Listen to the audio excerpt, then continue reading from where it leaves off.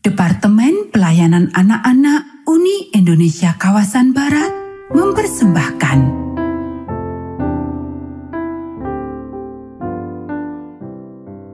Selamat pagi anak-anak. Kembali bersama Ibu Isti Kurnaidi. Kita akan mengikuti renungan pagi anak.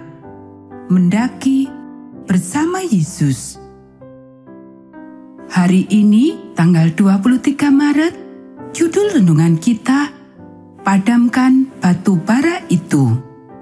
Mari kita awali dengan doa. Bapa di surga, kami akan belajar firman Tuhan.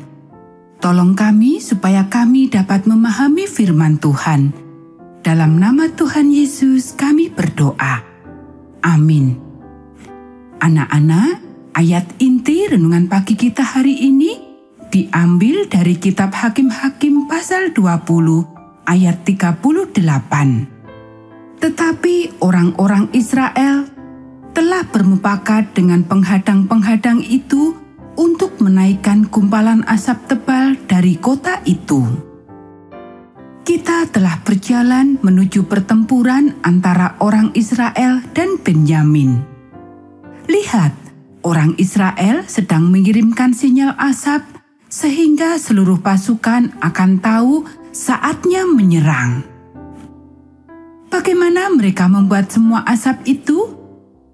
Ada pepatah lama yang mengatakan, "Di mana ada asap, di sana ada api."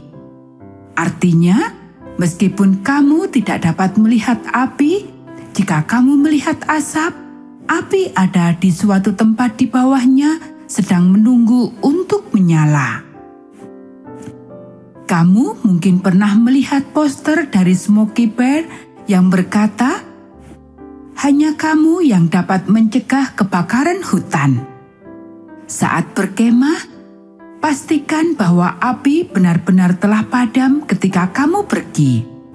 Bahkan meskipun kamu tidak dapat melihat nyala api, bahkan jika hanya ada asap, api masih ada di sana dan masih mungkin menyala kembali.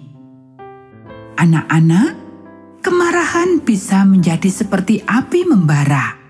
Hal ini dapat membakar di bawah permukaan. Jika kamu menahannya begitu lama, itu bisa menjadi api yang berkobar. Jangan menahannya di dalam. Berbicaralah kepada Yesus tentang hal itu dan biarkan Dia tahu kapan kamu marah. Jika kamu menginginkannya, dia dapat menyingkirkan kemarahan itu dan memastikan bahwa hal itu tidak akan menjadi kebakaran hutan yang berkobar yang dapat membakarmu dan orang-orang yang kamu kasihi. Anak-anak, demikianlah renungan pagi kita hari ini. Mari kita akhiri dengan doa. Bapa di surga, Terima kasih kami sudah belajar firman Tuhan. Tolong kami supaya kami selalu menyerahkan kehidupan kami kepada Tuhan. Kiranya Tuhan memberkati kami hari ini saat kami belajar, bermain, dan membantu orang tua. Dalam nama Tuhan Yesus kami berdoa. Amin.